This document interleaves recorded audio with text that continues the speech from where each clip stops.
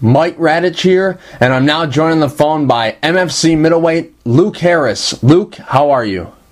Good, Mike. Thanks for having me on. Sure, no problem. Glad to have you. Luke, you got a fight coming up August 10th at MFC 34. How's training been going for the fight? Oh, man, it's going awesome. I mean, uh, got about three weeks to go. I'm in great shape now, just fine tuning some last, some, you know, final things or whatever. I had a couple of my teammates fight this past weekend at UFC 149. Um, you probably saw Ryan Jimmo and Mitch Clarke, so I mean, that was, uh, now I get a, you know, more of a chance to focus on myself, and uh, things are things are going well.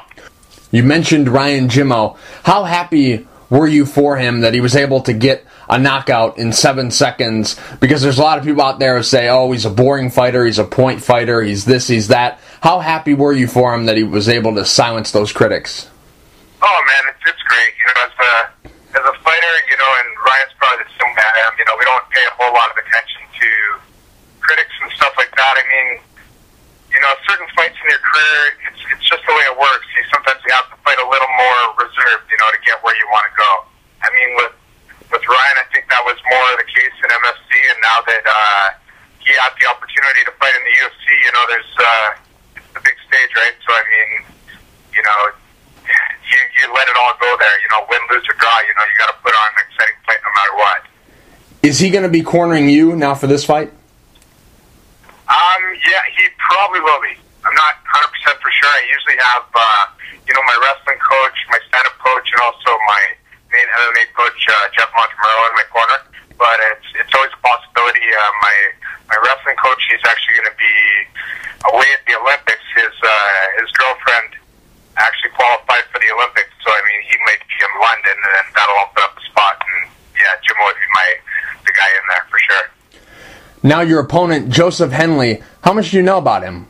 I know a fair bit. I mean, he's uh, he's undefeated. He trains uh, trains at a good camp in the states, and uh, he was on the Ultimate Fighter. You know, but it's uh, stylistically, I think it's a great matchup for me. Based on what you've seen him do in the past, you think he'll be your toughest test so far?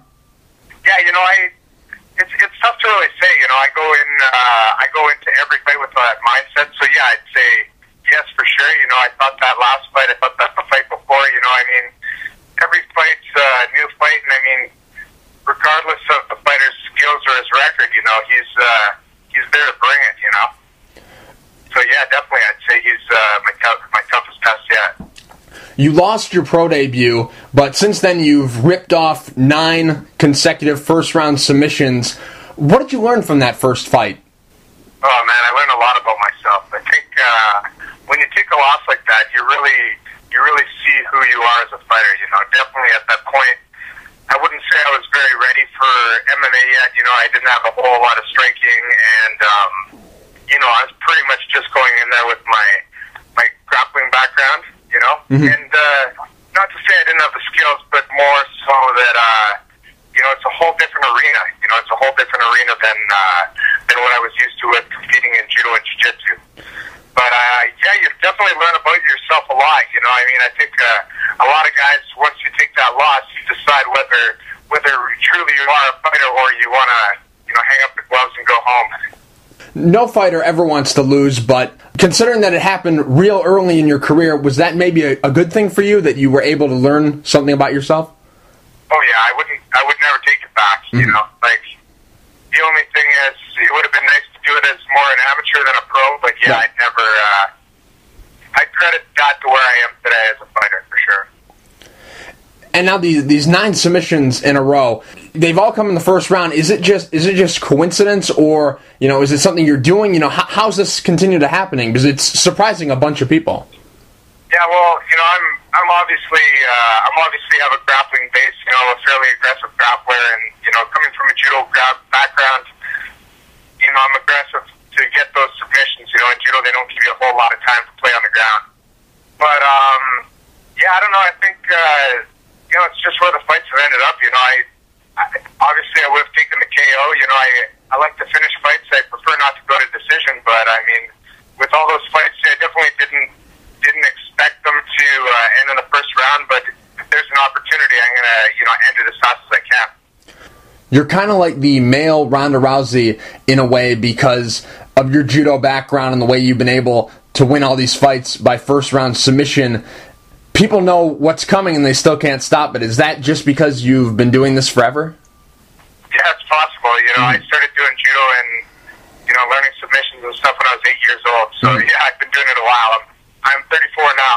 Mm-hmm. Now, Luke, there's been a lot of talk that should you get past Joseph Henley, you would get a title shot. Has Mark Pavelich said anything to you about that?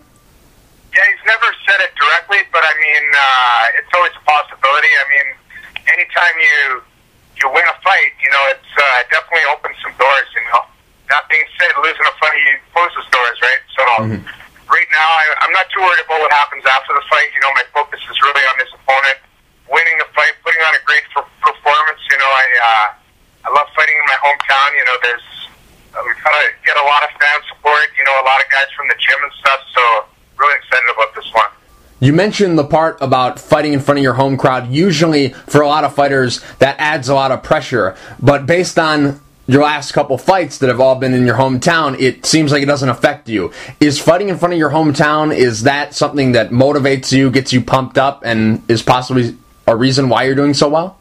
Yeah, it's definitely a possibility. I mean, uh, I love it. You know, it, mm-hmm. I, we probably have like uh, 200 members at the Hayabusa Training Center, and I mean, most of them come out to the fights with their you know friends and family and everything. You know, we just pack the place, and it's exciting, man. Like I uh, definitely don't want to let them down. You know, I probably feel that pressure as well, but I mean, uh, I'm more excited to like get that finish. So yeah, I think it's driving force for sure.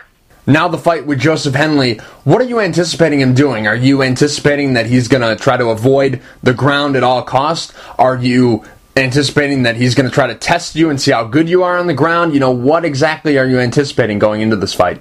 Oh, you know, I never, I never really planned that far into it. You know, mm-hmm. I a lot of times I plan the first exchange, and then you know I'm ready to go wherever the fight goes. Yeah, I'm excited to show what I can do standing. You know, as well. Uh, you know, most people have seen my ground, but you know they have they have no idea, you know, what I've been working on with my stand up or whatever. But um, you know, I'm I'll pick the wherever it goes. If he can stop me from taking him down, then you know it's going to be a stand up war. But that being said, you know, I won't necessarily press the big down. Um, I'm going to see what he does. You know, it's going to be interesting. It's going to be a good one, that's for sure. I can guarantee a finish. Usually, fights that take place in the ring, they favor the striker, but for you, that seems like it hasn't been a problem at all because you've been able to take guys to the ground and submit them. Which do you prefer, the cage or the ring, or does it not matter to you? No, it doesn't matter to me. Like mm-hmm. I, uh, at the Hayabusa Training Center, we have a cage, so I mean, mm-hmm. I train in a cage every day. Um, I probably prefer the cage. You know, I can have more tricks in the cage, I guess. But mm-hmm. that being said, you know, I, I don't really care where the fight is. You know, it could be in the, could be in a parking lot. So right. It doesn't seem to affect me too much. You said you see a finish happening in this fight. Is there any particular way you see the fight ending? Is there any way that you've sort of visualized it in your head, the way the fight's going to end? Um, yeah, I've, I've visualized it a lot of different ways. You know, mm-hmm. visualization is a big part of my uh, big part of my training actually. And uh, yeah, you know, I, I see it going anyway, right? See it by uh, always me winning, but submission or you know knockout for sure. Luke, real quick before I let you go, do you have any sponsors you would like to thank, and is there anything you'd like to say to the fans? Yeah, well, mainly I'd like to thank uh, Hayabusa, mm-hmm. obviously, and the Hayabusa Training Center. Right. You know, have uh, some other sponsors jumping on board for this fight, and uh, thank you very much as well. And uh, yeah, don't miss this fight. You know, this is going to be an exciting one. So it's going to definitely launch my career, and uh, you know, I'm going to finish. I'm going to do anything I can to get it. Luke, thank you for taking the time to talk. I really appreciate it. Good luck at MFC 34 August 10th against Joseph Henley. Thank you very much, Mike. Thanks for having me on.